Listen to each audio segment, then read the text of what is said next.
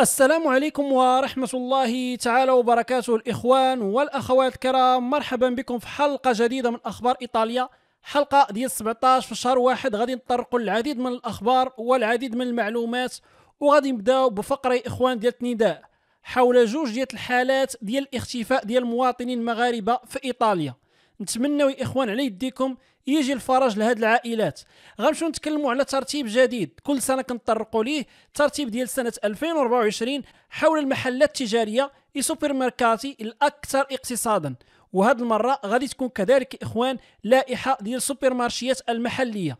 غنمشيو نتكلموا كذلك إخوان على مواطنة. مواطن مغربي نهار الزواج ديالو في البلدية نهار غيتشد وغيتم التطبيق في حقه العملية ديال الطرد. غادي نتكلموا كذلك ولأول مرة منذ قرن يعني حوالي قرن إخوان 96 عام وشركة فيات هي الأولى في المبيعات في الطاليان. إلا شهر 12 اللي داز. غادي تفوتها شركة اللي هي شركة فولكس فاغن وغنعطيكم كذلك شنو هما السيارات اللي تباعوا أكثر في سنة 2023 باش تعرفوا السوق ديال السيارات أشنو واقع فيها. غنتكلموا كذلك إخوان على تقرير اللي تم التقديم ديالو في مجلس الشيوخ الإيطالي. كيتكلم على مشكل كبير اللي غيكون إخوان في التقاعد في السنوات القادمة وهذا المشكل راه كيتكلموا عليه كثيرا مؤخرا كيف ما غادي تكونوا لاحظتوا.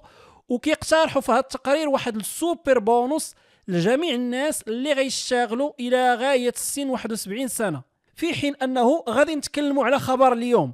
الخبر اللي راج بزاف مواقع التواصل الاجتماعي وفي النشرات الإخبارية.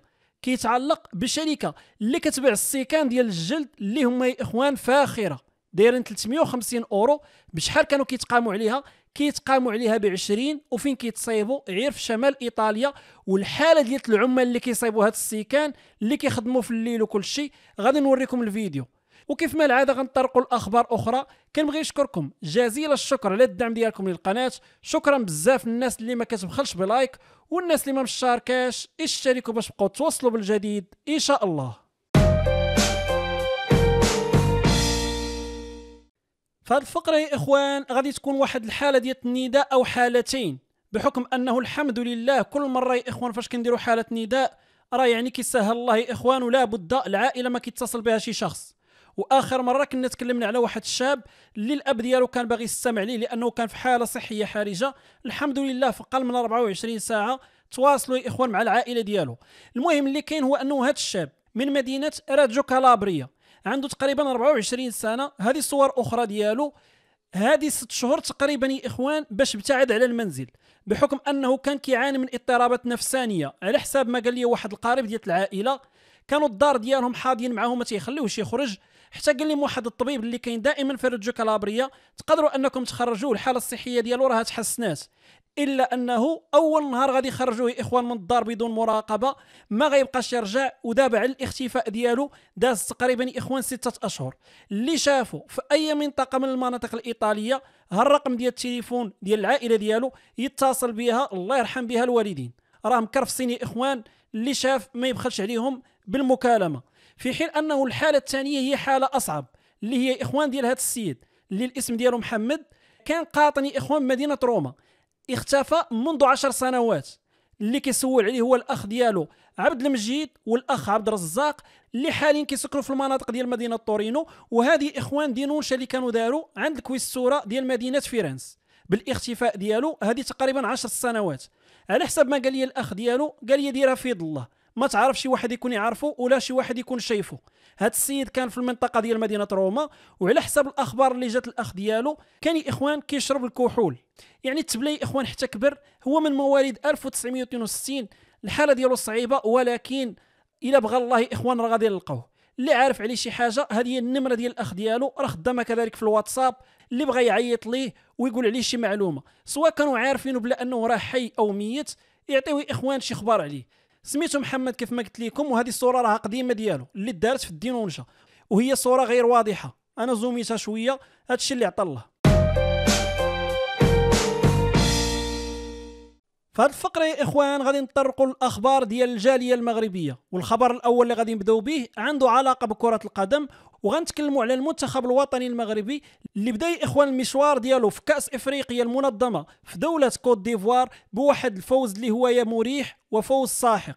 3-0 ضد منتخب تنزانيا اللي افتتح إخوان التسجيل كان هو الكابيتان رومان سايس. في الدقيقة 30 كان الهدف الثاني من تسجيل عز الدين أناحي في الدقيقة 77 والهدف الثالث بعد دقائق قليلة ثلاثة ديال الدقائق بالتحديد يوسف النصيري غيسجل الهدف الثالث. بطبيعة الحال إخوان هذا هو الفوز الوحيد من بعد إخوان الجولة الأولى ديال دور المجموعات اللي غيسجلوا فريق عربي وفريق من شمال إفريقيا بحيث أنه جميع الدول العربية والدول ديال شمال إفريقيا يا أنها تعادلت يا أنها خسرات. غنمشيو نشوفوا يا إخوان الأخبار ديال الجالية المغربية. وغادي نبداو بالخبر اللي كيجينا من ال provincia ديال المودينا بالتحديد في بلدية كامبو سانتو شابة إيطالية في شهر 12 اللي داز غادي تمشي عند البلدية باش تاخذ rendez-vous يا إخوان باش تزوج بمواطن مغربي. وحتى لهنايا كل شيء الأمور عادية. إلا أنه رجال الشرطة من يبداو كيحققوا يا إخوان على شكون هو هذا الشاب المغربي غيكتشفوا بلا أنه عنده سوابق وكذلك كاين في حقه واحد العملية ديال الطرد. مني جاو شوفوا إخوان العنوان اللي هو مديكلاري به آخر مرة مشاو داروا ليه ال contrôle في هذاك المنزل وتبين بلا أنه ما كاينش. وغادي تسناوه وهذا الشيء اللي ولاو كيديروا مؤخرا غادي تسناو حتى النهار يا إخوان اللي عنده ال rendez-vous باش يتزوج. وقبل يا إخوان ما ينطق بكلمة sì باش يتزوج بالشابة الإيطالية غيحضروا البوليس وغيمنعوا هذا الزواج. بطبيعة الحال إخوان المواطن المغربي حيت عنده سوابق وحيت كيعرفوا رجال الشرطة وكذلك في حقه طرد من الطاليان غيرافقوه يا إخوان إلى مركز الترحيل ديال مدينة روما. تما يا إخوان غينتظر باش تسالي له البراتيكا ديالو مع القنصلية المغربية ويتم الطرد ديالو إلى المطار ديال مدينة الدار البيضاء. في حين أنه غنمشيو نشوفوا خبر سريع اللي كيجينا يا إخوان من مدينة كابانوري اللي كاينة في البروفينشا ديال لوكا. في هذه البلدية الصغيرة غيتسجل إخوان واحد الانفجار اللي بسببه غتشد العافية في واحد المنزل ومن مشاو إخوان البومبية لعين المكان ومشاو كذلك رجال الشرطة. تبين بلا أنه ذاك الانفجار ما كانش إخوان بطريقة اللي هي عادية بل كان شي واحد اللي حط في المنزل اللي ساكن فيه واحد السيد اللي هو يا إخوان عنده إعاقة وجالس في كرسي ومعاه الزوجة ديالو اللي هي مواطنة مغربية. تبين بلا أنه ذاك الانفجار كان ناجم على قنبلة اللي هي يا إخوان مصيبه بطريقة تقليدية. شي واحد حطها لهم جنب المنزل. بطبيعة الحال حتى شي واحد كيف ما كيتكتب في المقال ما تصاب كانت جروح خفيفة ويعني غير واحد المعجزة اللي حتى شي واحد فيهم ما توفى. أما حاليا يا إخوان رجال الشرطة راه تيحقوا باش يعرفوا شكون اللي حط ديك القنبلة أمام هذا المنزل ديال هذه العائلة وعلاش حط القنبلة تما. في هذه الفقرة يا إخوان وكيف ما كل سنة كنمشيو نشوفوا الترتيب ديال أحسن سوبر مارشيات محلات تجارية اللي تقدر تقدى منها في إيطاليا. غادي نشوفوا يا إخوان ال supermercati وكذلك ال discount. والفرق ما بيناتهم هو أنه ال discount كتكون يا إخوان محلات تجارية صغيرة بحال Lidl L'Eurospin Dpiù ومحلات تجارية من هذا النوع. كتكون صغيرة وكتكون منتشرة على المستوى الوطني. أما فيما يتعلق بال iper أو ال supermercati راه كيكونوا بحال Esselunga ال Coop ال Conad Famila وهكذا. المهم غنمشيو نشوفوا يا إخوان هذه اللائحة وهذا العام تزادت كذلك لائحة جديدة ديال السوبر مارشيات الأكثر اقتصادا على المستوى المحلي اللي كاينين في بعض الجهات وما منتشرش في الطاليان. المهم ما غنمشيوش نطولوا فيهم بزاف ولكن غنعطيكم إخوان جوج اللي هما يقدروا يفيدوكم. أول حاجة هو أنه هذه اللائحة باش يديروها يا إخوان استمعوا ل 9500 شخص اللي هما داخلين. إخوان في الجمعية ديال Altroconsumo 9500 ربما البعض منكم تبان لهم قليلة ولكن راه كيكون الاختيار ديالهم بطريقة علمية. غير باش نعطيكم فكرة استطلاعات الرأي السياسية راه كيكون مشارك فيهم 1000 1500 شخص. يعني ملي كنتكلموا على 9500 راه déjà شيء اللي هو ممتاز. ومن بين المعايير اللي كياخذوها بعين الاعتبار ماشي غير الثمن ولكن حتى يعني شحال ديال الوقت كتسنى في الكاسة الجودة ديال داك الشيء اللي كتشري وكذلك الترتيب ديال المواد في هاد السوبر مارشيات يعني كيفاش كيتم عرض السلع في هاد السوبر مارشيات إلا أنه الثمن كيبقى هو أهم شيء كيعتمدوا عليه. فيما يتعلق إخوان بال ipermercati وال supermercati على المستوى الوطني. هاد السنة كيف ما السنة الماضية L'Esselunga هي في المرتبة الأولى. سريعا كاين يا إخوان Ipercoop ال Coop وكذلك يا إخوان NaturaSì. NaturaSì هو واحد السوبر مارشيت اللي كيبيعوا يا إخوان داك الشيء bio. تاليهم ال Coop ثم Famila. أما فيما يتعلق بال discount فالترتيب فهو كالآتي. في المرتبة الأولى L'Eurospin تاليها Aldi Prix واللي السنة الماضية ما كانتش في الرتبة الثالثة. من بعدها يا إخوان كتجي Lidl MD Todis Dpiù IN's Mercato Penny Market وأخيرا في المرتبة العاشرة Tuodì هذا الاخوان هو الترتيب ديال المحلات التجارية اللي تقدر توفر فيها أكثر. أما فيما يتعلق شحال كيخسروا العائلات على التقضية راه شهريا عائلة متوسطة. راه كتخلص إخوان 409 ديال الأورو. 27 أورو زايدة على سنة 2022 لأنه الأرقام اللي كنتكلموا عليها ديال سنة 2023 بطبيعه الحال هذه القيمة الماليه اللي 490 أورو كتكون مؤثرة للغاية خصوصا في العائلات اللي هي من الطبقة الهشة بحكم أنه الناس اللي عندهم فلوس 409 ديال الأورو أو 500 أورو ما غاديش تأثر فيهم ولكن غادي تأثر على الناس اللي هم إخوان في الطبقة الهشة. زيادة على هذا كل ما كيرتفعوا يا إخوان الناس في العائلة العدد ديال الناس اللي كيشكلوا العائلة كل ما كترتفع هذه النسبة ديال 409 أما فيما يتعلق بالسوبر مارشيات المحلية اللي ما كاينينش في جميع الجهات في المرتبة الأولى كنلقاو إخوان انفيشي Dem اللي هي إخوان واحد السلسلة ديال السوبر مارشيات اللي كاينة ما بين روما وفروزينوني أما في المرتبة الثانية كاين Tosano اللي عنده 19 محل تجاري كاينين في البروفينشات الآتية. فيرونا فيشانسا بريشا فينيسيا مانتوفا تريفيزو فيرارا بادوفا واوديني وكيتميزوا بالاثمنه ديالهم اللي هي منخفضه اللي قراب ليه يقلب عليهم يدور فيهم واحد الجوله ويشوف واش الثمن ديالهم مزيان وكذلك الجوده ديال الاشياء اللي عندهم واش مزيانه بطبيعه الحال النصائح الاخيره اللي كيتكتبوا في هذا المقال من هذه الجمعيه هو انه الواحد قبل ما يمشي يتقدى من المستحسن باش يوفر انه قبل ما يخرج من الدار يدير واحد اللائحة اللي فيها جميع الأشياء اللي ناقصة في الدار أو قريبة السالي. هذه الحاجة الأولى. الحاجة الثانية ونصيحة اللي تنقولوها دائما ما عمرك تمشي تتقدى وأنت جيعان. أو مثلا تمشي تتقدى في رمضان من بعد ما أنك ساليتي الخدمة عيان وعطشان. غتشري بزاف ديال الأشياء اللي ربما ما غتحتاجهاش. بطبيعة الحال غادي نتكلموا كذلك إخوان على أنه ملي تكون باغي تقدى أشياء اللي هي قليلة خذ ديك الكراريسة اللي كتجر صغيرة وما تاخذش كروسة اللي هي كبيرة. لأنه الكروسه الكبيره غادي تبان لك دائما فارغة وغادي تحاول أنك تملاها بأشياء اللي ربما أنت ما محتاجهاش أو ما واقفش عليها. في حين أنه النصيحة الأخيرة قبل ما تمشي للكاسه وتخلص واحد المراجعة سريعة لداك الشيء اللي تقديتي. واش كله محتاجه؟ ولا كاين شي أشياء اللي ربما من المستحسن أنك تخلي عليها. هذا الشيء بطبيعة الحال اخوان النصائح ديال الأخصائيين باش تقدروا أنكم توفروا القليل. وتشريو داك الشيء اللي فعليا نتوما محتاجينه. النصيحة الأخيرة هو أنه الواحد إلا قدر يمشي يتقدى من بعد ما أنه يفطر أو من بعد الغداء. ما يأخرش التقاضي حتى العشيه لأنه في العشية الجودة ديال المنتجات اللي هي طبيعيه فريسكا كتكون إخوان الجودة ديالها ماشي تلهي يعني من الأحسن تاخذها fresca مع الصباح أو يعني إلا تعطلتي ما بعد الزوال. هذه الفقرة يا إخوان غنمشيو نشوفوا داكشي اللي وقع مع شركة ديال السيكان وديال البزاطم وكذلك يا إخوان سماطي ديال الجلد اللي هي مشهورة في إيطاليا. سميتها Alviero Martini السيكان ديالها تقريبا كيدير واحد 350 أورو ولكن اللي كيكلفوا الشركة اللي كتصنعهم حوالي 20 أورو.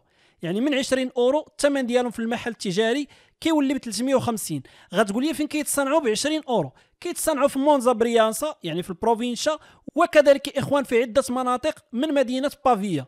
هذو يا إخوان الصور الناس فين كانت عايشة وفين كانت ساكنة وهاد الصور راه تنشرات يا إخوان في العديد من المواقع الإيطالية وكذلك النشرات الإخبارية. هنا يا إخوان فين كانوا كيخدموا داكشي ديال الجلد. بطبيعة الحال المكان اللي كيخدموا فيه هو فين عايشين. وغادي تشوفوا يا إخوان هنايا بالدليل كيف ما غادي تشوفوا معايا فين كينعسوا هنا كاين الناموسيات. وهنا يا إخوان هاد البلاصة راه شوية بعدا هنا يا إخوان كاين أماكن اللي هي كلها يا إخوان humidité وكيف ما كتشوفوا معايا راه الصورة غنية عن كل تعليق. بطبيعة الحال هنا بيت النعاس يا إخوان داخل الشركة وهذو هما هي البورصات اللي كانوا كيتصايبوا. بطبيعة الحال واش الشركة اللي كانت كتبيع هذا الشيء ألفييرو مارتيني كان فراسها هذا الشيء على حسب ما تيقول القضاء لا ما فراسهاش. ولكن ومع ذلك القانون كيعطيها الإلزامية أنها تراقب السلسلة ديال الإنتاج. باش إلا كانت شي حاجة ما مزياناش تحيدها وهذا الشيء اللي ما دارتوش ولذلك القضاء الإيطالي حجز عليها قضائيا وكلف واحد جوج ديال الناس اللي غيرافقوا الشركة والمديرين ديالها في العلاقات ديالها مع المنتجين. بطبيعة الحال هذا الشيء اللي كان كيوقع باش نفصل لكم الشركة كانت كتعتمد على شركة ثانية. هي بطبيعة الحال عندها حوالي 100 آه، خدام وكتفاكتوري حوالي 50 مليون ديال الأورو سنويا تقريبا أكثر من 50 مليار مغربية. كانت كتعتمد في الإنتاج ديال هذا السيكان على شركة ثانية هي اللي كتكلفها بالإنتاج. ولكن هذه الشركة الثانية ما عندهاش الإمكانية ولا القدرة باش أنها تنتج ديك الكمية اللي Alviero Martini كيطلبها وما عندهاش كذلك الإمكانيات باش تصنعهم بنفس ال qualité. لذلك أشنو كانوا كيديروا؟ كانوا كيعتمدوا على مصانع صينية اللي كاينة في بافيا واللي كاينة كذلك إخوان في المناطق ديال مونزا بريانسا. كيتبين أنه هاد الناس من غير أنه كانوا إخوان تيخدموهم في الليل كيخدموهم. السبت والحد كيخدموهم في الأعياد ما كانوش تيخلصوهم حتى مزيان. بطبيعة الحال ما كانوش كيخلصوا عليهم الضريبة وما كانوش كيخلصوا عليهم الكونتريبوتي وكان كل شيء في النوار. وكانوا كيخدموا البياسة ماشي للساعه مثلا غتخيط واحد السنسلة ب 80 سنتيم أو مثلا غادي تقاد الجلدة الفوقاني ديال الصباط بأورو 25 للجلدة. يعني كتقاد الجلدة ديال الصباط الفوقانيه وكتخيط خاصة مثلا غير تلصق في السميله ولذلك كانت حتى اثمنه اللي هي نازلة ونازلة بزاف. من بين الأشياء اللي خلت أنه البوليس يعيق بهم يا إخوان هو الاستهلاك المفرط ديال الكهرباء في الأعياد وفي الليل. علاش؟ لأنه هذه المصانع الصينية كانت إخوان كتجهد الإنتاج ديالها في الليل وفي الأعياد وفي السبت وفي الأحد لأنه contrôle ال ما كيكونش. ولذلك ملي جاو يراقبوا الاستهلاك ديالها في العام اللي داز من شهر واحد إلى غاية شهر 10 لقاو بانه الاستهلاك ديال الضوء كيكون طالع وطالع بزاف في هذه الأيام. هاد المصانع الصينية كانت كدير إخوان هاد الصيكان ب 20 أورو هي الكلفة النهائية وكانت كتعطيها للشركة اللي كتعتمد عليها Alviero Martini اللي كتفاكتوريها ب 50 أورو. يعني كتقول لي راه كلفتنا 50 أورو. و Alviero Martini كيحطها في المحل ديالو ب 350 في هذه الفقرة يا إخوان غنشوف واحد التقرير اللي غيعطيكم معلومات على أشنو كيروج في السوق ديال السيارات. معلومات اللي خرجوا في واحد التقرير دارت إخوان الجمعية الوطنية اللي كتنوب على الشركات اللي هي خارج إيطاليا واللي كتبيع في الطاليان بحال فولكسفاغن داسيا مرسيدس وهكذا. المهم اللي كاين واللي كيتلاحظ هو أنه لأول مرة منذ 1928 يعني حوالي إخوان 96 عام لأول مرة شركة خارجية غادي تفوق على شركة فيات الإيطالية في المبيعات. هذا الشيء إخوان غادي يكون لصالح شركة فولكسفاغن اللي كتنتج الجولف واللي غادي تقدر انها تبيع. في شهر 12 اللي داز سيارات أكثر من شركة فيات في إيطاليا. بطبيعة الحال فاتت الفيات اخوان غير ب 220 سيارة. ماشي عدد اللي هو كبير ولكن راه كيبقى يا إخوان رقم اللي لابد ما ياخذوه بعين الاعتبار. واخا غير 220 سيارة ولكن راه ما عمرها ما وقعات في التاريخ منذ بداية تسجيل هذه الأرقام في إيطاليا. يعني من 1928 بطبيعة الحال إلى جينا نشوفوا الأرقام ديال السنة كاملة سنة 2023 ما نشوفوش غير شهر 12 بوحدو. كنلقاو بلا أنه شركة فيات متفوقة وبكثير لأنه في سنة 2023 فيات باعت 174 ألف سيارة في حين أنه فولكسفاغن باعت 122 ألف سيارة. كاين واحد الفرق ما بيناتهم ديال 50 ألف سيارة. ومع ذلك شركة فيات يا إخوان كتسجل واحد التراجع فيما يتعلق بالحصة ديالها في السوق. الحصة ديالها في السوق الإيطالية كتراجع إلى 11.14% في حين أنه السنة اللي قبل كانت في 13.60% يعني كاين واحد التراجع يا إخوان في الحصة ديالها في السوق. أما إلى جينا نشوفوا السيارات اللي باعت الفيات في شهر 12 بوحدو راها باعت 10523 سيارة في حين أنه Volkswagen باعت 10752 كيف ما قلت لكم فايتها تقريبا بواحد 220 سيارة فقط ولكن راه رقم تاريخي اللي كيف ما كيكسب Corriere della Sera ماشي غير رقم ولكن راه عنده كذلك التأثير ديالو ال psychologique على الشركة الإيطالية. اللي منذ 96 عام وهي كتحتل المراتب الأولى في السوق الإيطالية.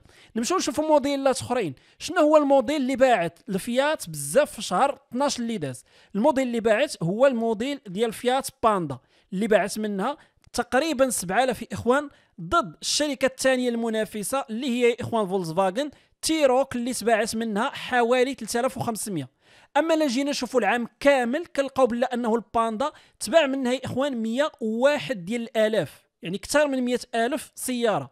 يعني الباندا راه كتشرب بزاف من عند الإيطاليين والسيارة الثانية اللي كتنافس الباندا في الطاليان هي Dacia.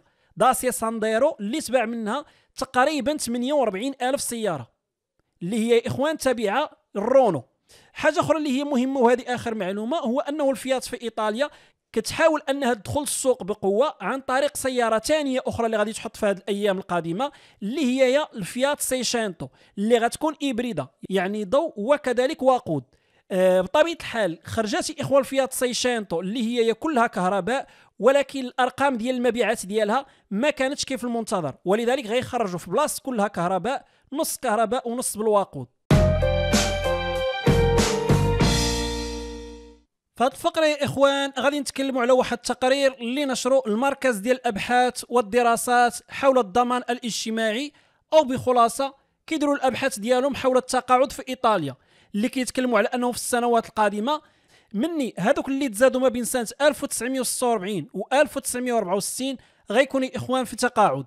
ولذلك حيت العدد ديالهم كبير النفقات ديال الدولة اللي غادي تصير على التقاعد غادي تكون باهظة وكبيرة. ولذلك هذا التقرير اللي تم التقديم ديالو في مجلس الشيوخ من بين المقترحات اللي داروا هو أنه الدولة تعرض واحد السوبر بونص يعني بونص اللي يكون كبير لجميع الناس اللي غيقبلوا أنهم يخدموا حتى السن ديال 71 سنة وماشي السن ديال القانون الحالي اللي هو 67 سنة. بطبيعة الحال العدد ديال الناس اللي كيخرجوا تقاعد في إيطاليا غادي وكيتصاعد. الناس اللي كتخدم حتى هي يا إخوان غادي الأرقام ديالها كتصاعد ولكن إيطاليا كتبقى يا إخوان ما بين الدول الأوروبية المتأخرة فيما يتعلق بهذه النقطة. وتقريبا على حسب ما كيتقال دائما في هذا التقرير النظام ديال التقاعد والكلفة اللي كتخسر الدولة غيبقى غادي مزيان من هنايا لواحد 10 سنين حتى ل 15 عام. من بعد غادي يلقاو ريوسنا في مشاكل اللي هي كبيرة لأنه على حسب ما تيقولوا الحكومة الإيطالية أو النظام في إيطاليا غادي بدون بوصلة ما عندوش بعد النظر. يعني كيشوف غير قدامه وما كيشوفش إخوان البعيد بزاف. في حين أنه في سنة 2035 2040 مني الأطفال اللي تزادوا من بعد الحرب. يعني كنتكلموا إخوان مني صارت الحرب في إيطاليا العائلات ولدوا بزاف. أكثر ما كيولدوا حاليا كانوا كيولدوا أكثر من مليون طفل في السنة. دابا راه 400 ألف طفل ما كنوصلوش ليها. هادو إخوان غيخرجوا تقاعد ولذلك غادي نتكلموا على أكبر تحول ديموغرافي في إيطاليا في التاريخ ديالها. وربما الدين ديال الطاليان غيولي أكثر يا إخوان من 3000 مليار ديال الأورو. اللي هو واحد الديون اللي هي كبيرة اللي غيتسبب فيها. بشكل كبير هو يا إخوان التقاعد. بطبيعة الحال التقاعد في إيطاليا واخا الناس كتخرج على 67 عام ولكن إلى جينا نشوفوا الواقع وجينا نشوفوا المتوسط كنلقاو أنه المتوسط في إيطاليا هو 63 سنة. من أصغر الناس كيخرجوا تقاعد في أوروبا. علاش؟ لأنهم تيديروا لهم قوانين اللي كتعطيهم إمكانية أنهم يخرجوا تقاعد. بحال كوطا شانطو أو كوطا شانطو دوي أو كوطا شانطو طري إلى جينا نشوفوا الأرقام ديال السنوات الماضية كنلقاو بلا أنه في سنة 2008 إيطاليا كانت كتخسر إخوان على النفقات الاجتماعية دخل فيها كذلك التقاعد والإعانات الاجتماعية كانت كتخسر 73 مليار سنويا. في سنة 2022 يعني من بعد مرور تقريبا واحد 14 عام ولات إيطاليا كتخسر 157 مليار ديال الأورو. يعني النفقات ضاعفوا ب 126% بطبيعه الحال ملي كتشوف أنه النفقات ارتفعت الهدف الرئيسي كان أنهم يقلوا من الفقر في الطاليان. يعني مني كتكثر من النفقات الاجتماعية كتعاون الناس ببونوسات وعدة مسائل. إلا أنه داك الشيء اللي وقع يا إخوان العكس. ملي كنجيو نشوفوا كنلقاو بلا أنه في 2008 الناس اللي هما يا فقراء وما كانوش كيقدروا يوصلوا النهاية ديال الشهر يعني الخلصة ما كتكفاهمش كانوا جوج المليون و ألف. أما آخر الأرقام ديال ليستاس كتكلم على أنه إيطاليا فيها 5 مليون و700 ألف شخص اللي ما كيوصلش للآخر ديال الشهر. يعني الأرقام ديال الفقراء ضاعفات وخي إخوان السبيزا سوشالي ضاعفات كذلك في إيطاليا. ولذلك في الختام ديال هذا التقرير كاين إخوان نداء للحكومة الإيطالية باش أنها اولا ترفع من السن ديال التقاعد وما تبقاش دير هذوك التخريجات بحال quota cento tre أو quota cento اللي كتخلي الناس أنهم يخرجوا من التقاعد قبل وكذلك التقليص من المساعدات الاجتماعية. بطبيعه الحال غتقول لي ودي هاد الناس ما كيفهموا والو. هادو لاباس عليهم وعندهم الفلوس ولذلك ما باغينش أنه الحكومة تعاون الناس. لا بالعكس هما الهدف ديالهم أنهم يضبطوا الميزانية ديال الدولة. تيقولوا لها عاوني ولكن بالطريقة اللي هي معقولة أكثر. ماشي يكون إخوان إعانات بطريقة عشوائية. وراكم عارفين إخوان شحال ديال البونوسات كانوا كيستافدوا منهم ناس اللي عندهم الخير. يعني ما كنقولوش ناس اللي هي فقيرة عندهم الخير وكيستافدوا. بحال البونوس ديال ال transport مثلا. بزاف ديال الناس خدامة ولاباس عليها وكانت كتستافد منه. في حين أنه كان ربما من الأجدر أنه تعطيه الناس اللي هما محتاجين وما قادرينش أنهم يوصلوا لنهايه ديال الشهر لأنه الخلصة قليلة. هذا الكلام ما غيعجبش الناس اللي كانت كتحصل عليه وعندها فلوس ولكن هذا هو الواقع. ونفس الشيء البونص ديال البنزين. الناس اللي كانت كتستافد منه كان كيستافد منه الطاليان كامل كيف المهندس كيف النوطير كيف اللي خدام بالناي في حين أنه كان من الأجدر يتعطى على حساب ليزي. ماشي بالطريقة اللي دارت الحكومة الإيطالية ولكن طريقة أخرى أنسب.